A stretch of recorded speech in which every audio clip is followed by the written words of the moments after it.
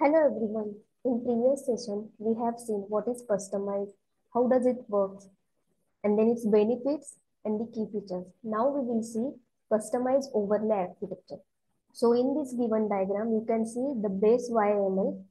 It's further, if you want to add some extra, then with the help of overlays, maybe it in the development stage, staging environment, or you can see the production environment, the overlays YAMLs are added and then with the customized build, they deployed to the respective uh, development or you can say staging or production environment in the Kubernetes.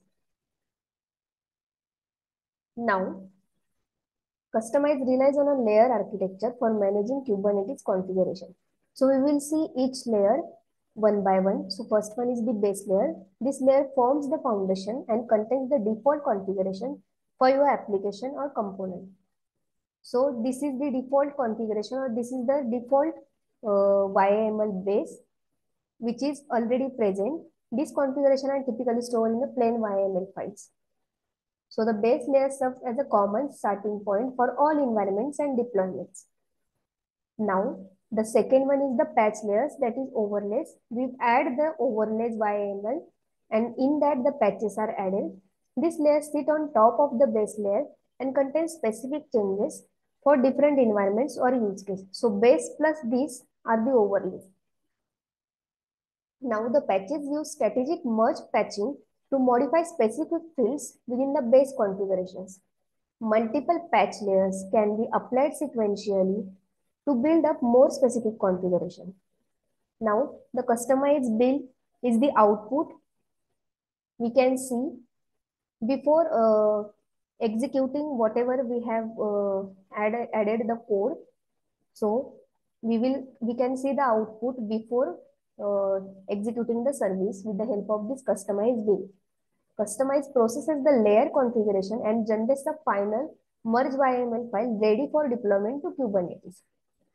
This final output reflects the combined configurations from the base layer and all the applied patches.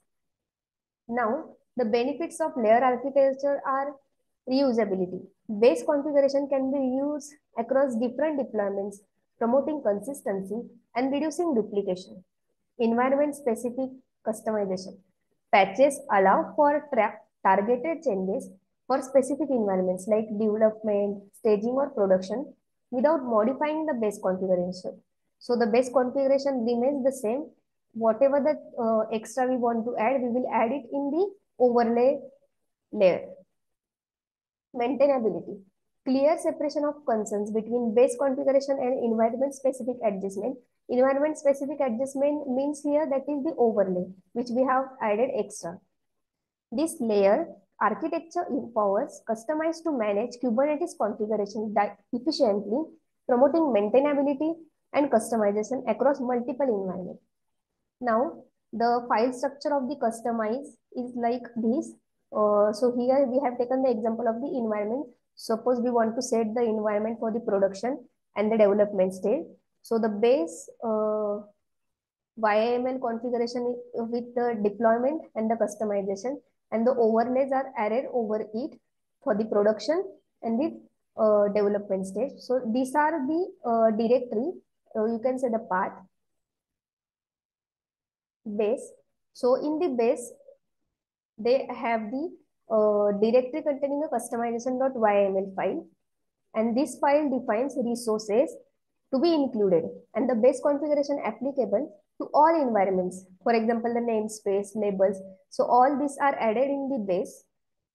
Now, in the overlays, directories extending the base configuration for specific environments. So in the base, there is a default environments. And if you want to go for the specific environments, then the directories is extending to the overlays. Each overlay also has a kustomization.yml file. These files reference the base directory using bases for the shared resources and also specifies additional resources or patches specific to the environment. Now, the customized file structure key points are the base directory contains the core configuration used across environment. So base directory always have the core configuration and the overlays introduce environment specific adjustment without modifying the base resources.